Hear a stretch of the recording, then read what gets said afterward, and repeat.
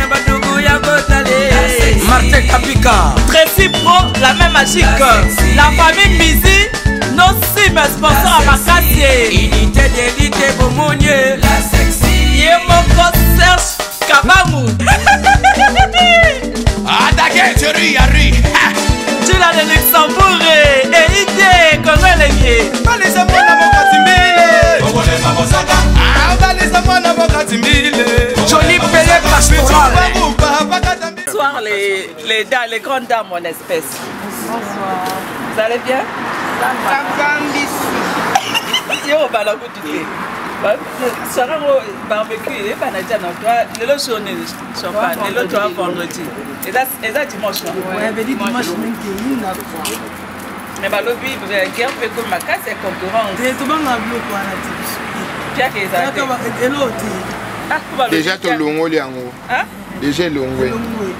yango eza musique balongola eza makambo ya dimanche omoni bakatholike esalaka plein yango kimbango esalaka plein yango protestant esalaka plein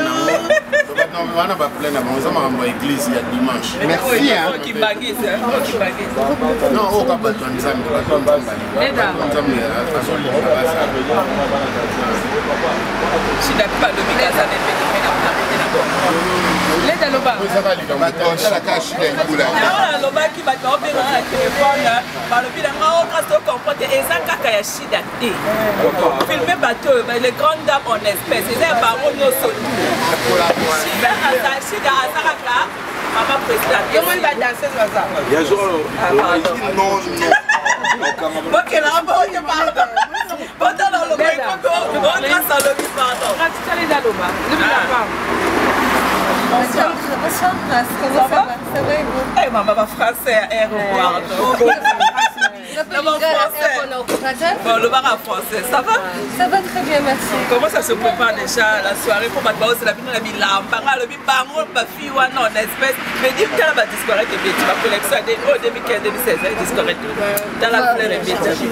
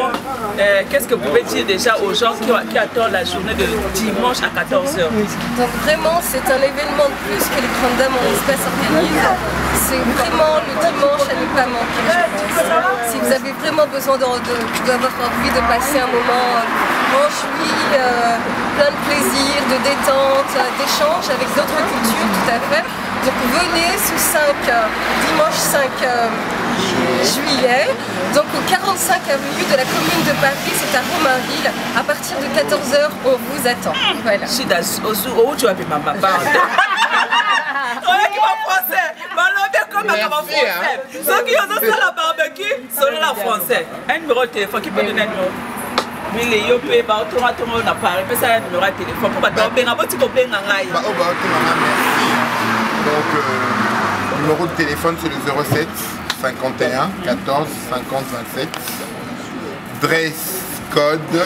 couleur d'été. Donc tous les shorts, couleurs et tout ça, vous êtes le bienvenu. Sexy boy Tosengika ate que batu balata soki nde nini mwana me tosengi batu balata ba couleur d'été, short, mini jupe, robe et tout ça. Donc voilà, Eric Poulet koboma no bilamba te. Numéro de téléphone 07 51 14 50 27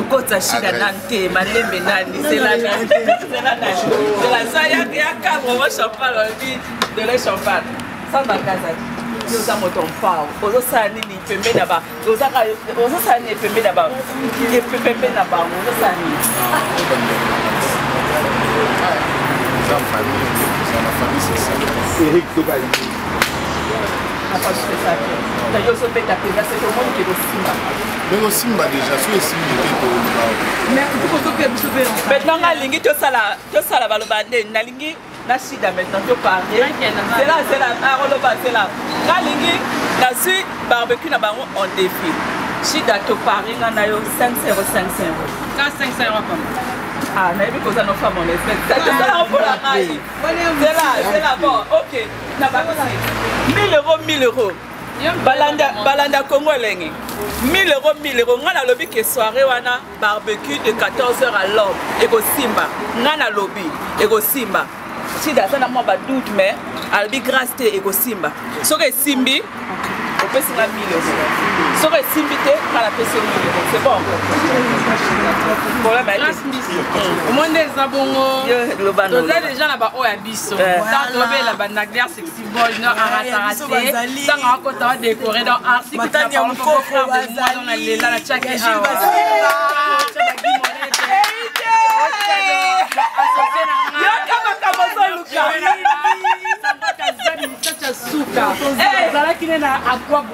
Var tozongi abe fo tozonga ba tomo ba de temps tout ça na na pona to se pesa. Papi duki na musika mayo tila o azala na nga matin midi soir. On les a bongo les arzo ma va ou vient na nga biso a trop na bi ke de Ghana. To yo ko tcha ba bourman. Bourman ba CNN par rapport à par rapport est cartonné. Par rapport à par rapport est kangi mo. Ah musika o la chiwana.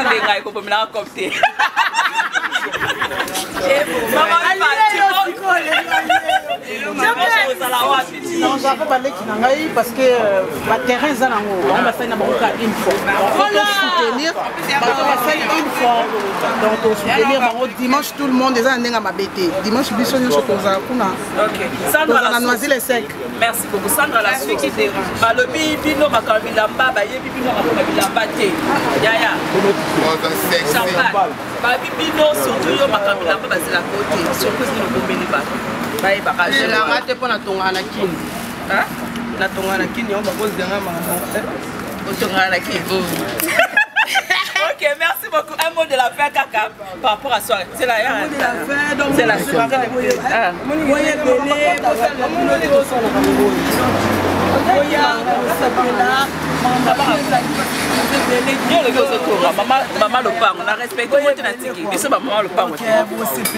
nde eza boye toza nombre andele toa na magi armelo oyo bomoni ete lelo toa na songa la source ye wana oken bayaka ye yo nadege bomeya o tokende mpo osala lobi toza na aurélie la friandise elle est là toza na chuchu lwambo aza te mais azalaka toujours toza na leda mwana bisa mondele ya poso moyindo yeyo toza na be wili chambretoyebiyo moto odirige sandra alobaki odirisaka mais minute oyo na sako pardon pardon ma président ndenge na bando obanda obanda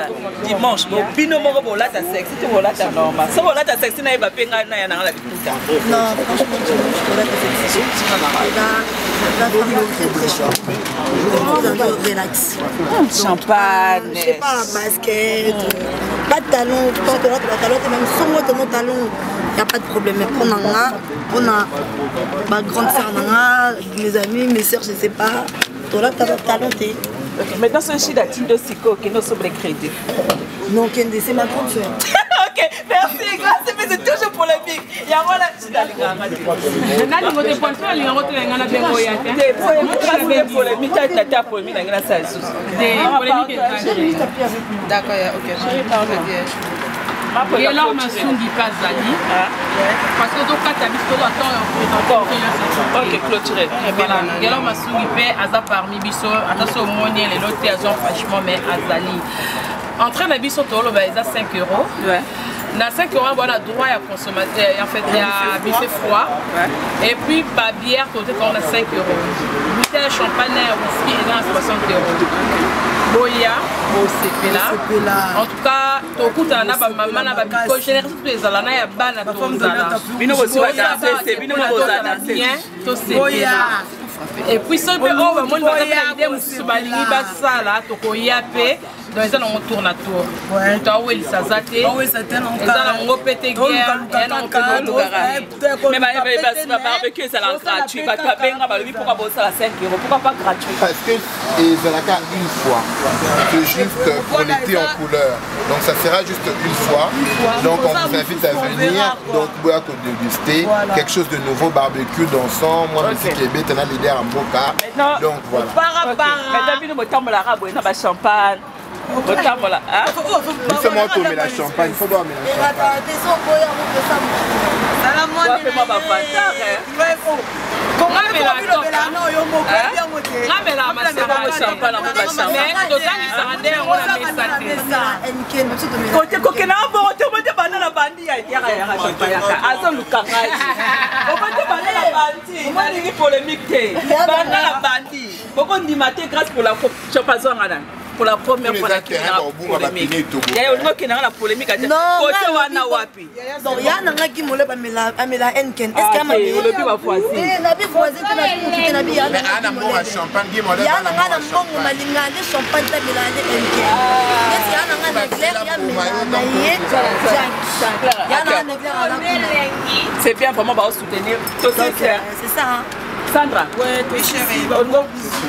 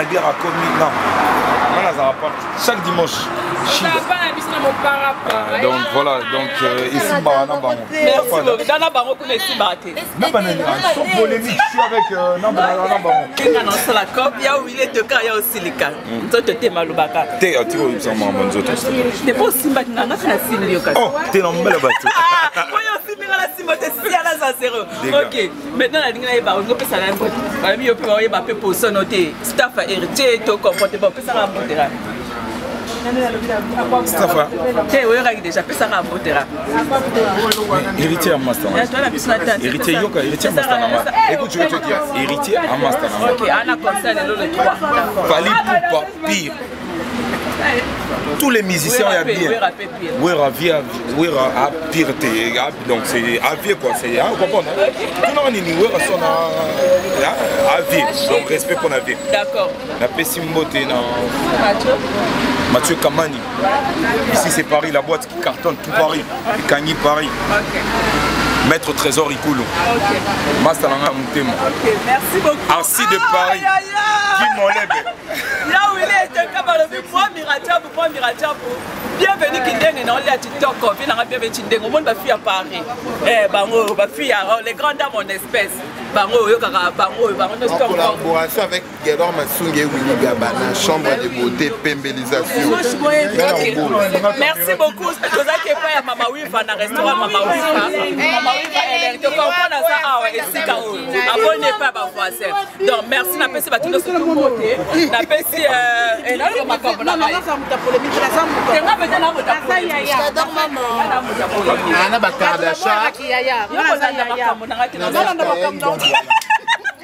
napesi ya balobi merci ko la première dame de lausanne vraiment tozala jour wana balobi lata elamba no to olingi mai mwa bacouleur ekotaka ndenge basali banzakaka couleur de te jaune violet rose nyonso to ekota napesi merci lisusu balobi champagne michel kabeya kabeya wetu michel kabeya babi michel kabeya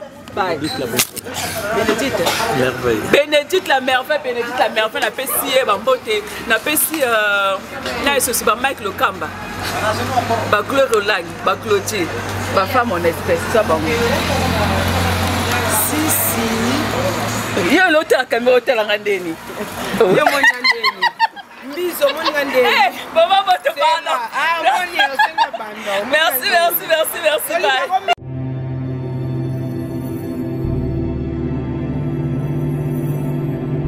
agence ya moko oyo elongoli bana kimi complexe ya kar kebala kimbambala surtout yo musicien kotambolaki mbambala te keba milinga ekosopa yo solola na adams business avec adamo kumbo motuka ekolonga dubai okoma kinshasa neti na film ocomprendre te euh, notre service est basé sur le fret maritime et aérien nous faisons des arrangements pour visa dubai visa deux semaines visa un mois visa deux mois c'est disponible ici à dams agency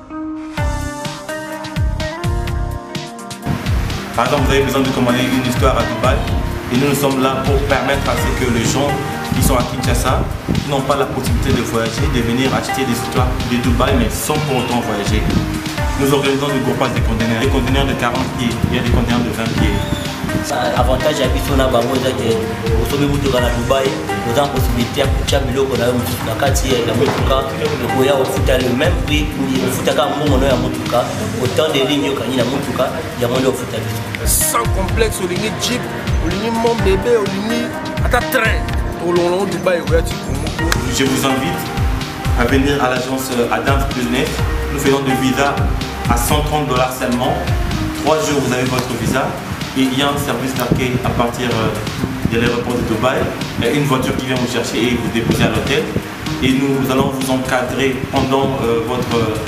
processus d'achat à Dubaï. Vous pouvez nous contacter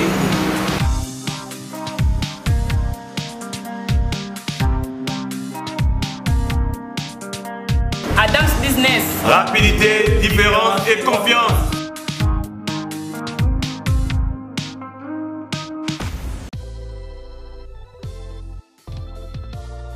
indi eyindi eh, eyindi eh, eyindi eh, toza na kati ya bureau eh, ya congo elenge masolo eza ndeni vedi toza na biso basponsor tozosalaka publicité mpo na sponsor na biso babi derrière grâce mbizi congo elenge qui est derrière qui est derrière congo elenge qui est derrière grâce mbizi esasomoli masolo yango vedi bamaître maurice mpe bakoti yango baerik mando mpe bakoti masolo yango balobi boss de boss mwami rajabu bidi kongo kongo elengi mobima na paris tozosala promotion balobi mwami caps donc nayebisi bino bacongolais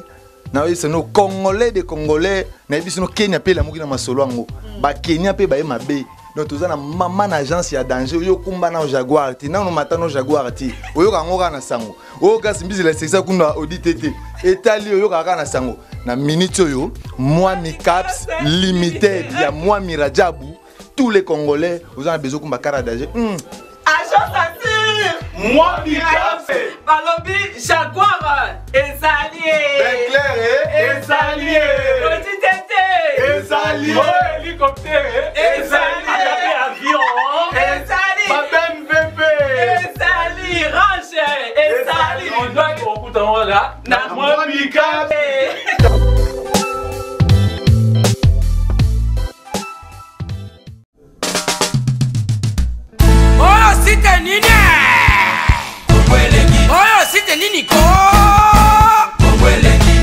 elengi kofiba bonbon grace mbizi la sexy bato balobaki mingi mpo na grace